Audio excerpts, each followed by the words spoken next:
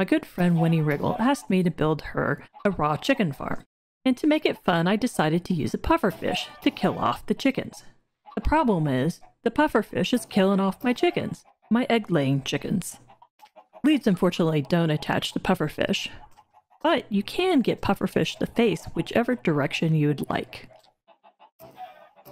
It's simple enough to train your pufferfish. Waterlog a block, and it will eventually turn in that direction.